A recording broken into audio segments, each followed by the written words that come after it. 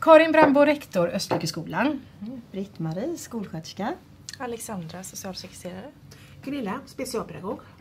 Malin, specialpedagog. Jan Strömqvist, kurator.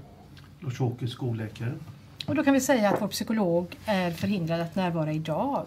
Men en av våra framgångsfaktorer här har ju varit att hela elevhälsan ska vara representerad på våra möten som vi har var tredje vecka. Två och en halv timme var tredje vecka. Alla går därefter ut och verkställer gemensamt tagna och fattade beslut. Då ska vi se om, om så att vi börjar med vårt första case här nu då idag. Hej Mia, välkommen. Det är bra. Varsågod och sitt bara. Och Du får sitta där. Så jag jobbar med föräldrarna, hur de ska kunna eh, jobba. Och det, det är väl där jag känner det att det är samtidigt som man gör det här Mm. så är liksom skolan med. Det är liksom inte i otakt. Nej. Ofta är det ju det. Att man får vänta in och, och då tappar man lite styrfart. Föräldrarna vill samma sak. Det är ingen oro för barnet att föräldrarna tycker olika. Så där, där ser vi den insatsen har ju varit väldigt, väldigt grundläggande. Och det är ju den enda insatsen som eleven har från socialtjänsten då. Det är ju föräldrarådgivningen då. Och sen var BUP med igår inbjuden på detta mötet. Togs det några andra beslut som vi behöver ha? Nej, inte mer än att, och det tycker jag också var en sån här väldigt positiv sak, att man inte skulle gå in just nu. Men de skulle inte behöva köa igen om det är så att de behöver det. Då var det liksom bara raka vägen in. ja men Och det bra. kan ju föräldrarna vila i. Ja. Annars kan det ju bli sådär att man vet att det här tar ett halvår innan Och då ska vi se, då hade vi... Och det är socialsekreterare Lena. Lena Sanner. Ja. Socialsekreterare Moa Ireqvist. Jättebra, som också arbetar på integrationsavdelningen båda två. Finns det någonting som social du vill säga i detta läget? Ja, inte mer än att allt fungerar bra. Vi ser väl att familjen nu när den är samlad mår bättre överhuvudtaget. Eh, Så vi har inte fått några indikationer på att det inte skulle fungera bra. Den frånvaron som fanns för, runt den första eleven, Ja, det är ju borta. ja det är ju fantastiskt bra. Kommer till skolan varje dag och mm, gör sitt bästa. Vad var det som hände där? Jag tror att eh, mycket beror på att man får språket så är det lättare att ingå i, i sammanhanget så att säga. Och jag tycker att det är, det är roligt. Skulle vi se att det behövs ytterligare, att, att vi behöver träffas var tredje vecka, då lägger vi in det i schemat igen. Då kan ni bara kontakta mig Ja. via mail så, så lägger jag in en ytterligare tid så får vi lägga på en kvart i sådana Ja, fall. men det väl jättebra. Ja, Absolut. om det skulle... Snart första advent. Ja, det är snart. Ja.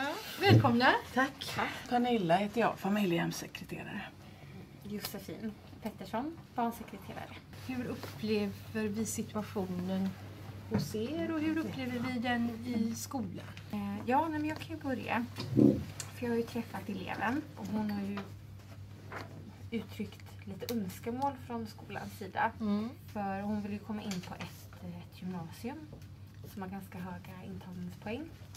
Och hon känner väl själv av att hon inte kommer nå upp dit. I alla fall inte där hon är idag. Ehm, och därför så skulle hon vilja ha lite hjälp. Vad bra, välkommen, välkommen. Tack.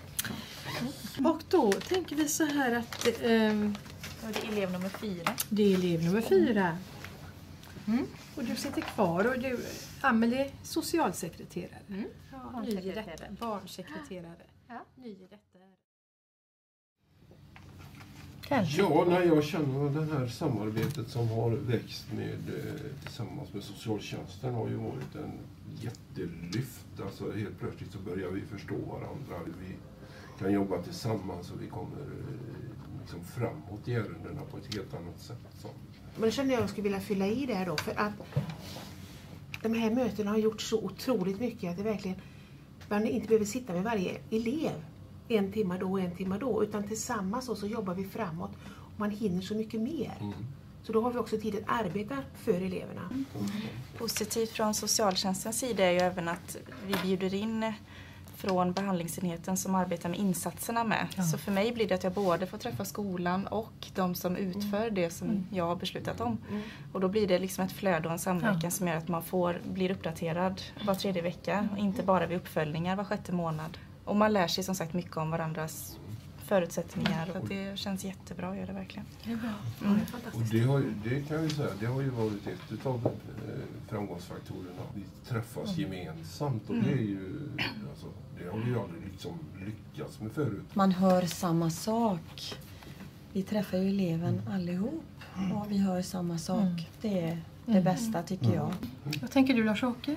Nej, jag tänker på det här med helheten, alltså att, eh, att se, se eleven ur olika ögon. För att ju, ju mer vi lär känna den enskilda eleven, eh, ju mer kan vi hjälpa.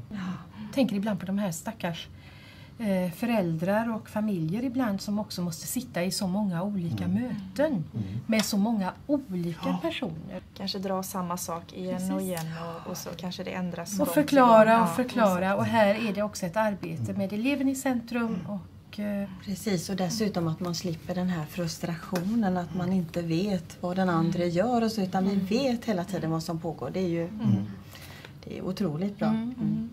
Har du Malin någonting? Ja, Jag kom in väldigt sent Ja, detta men alltså, precis. effektivitet. Ja.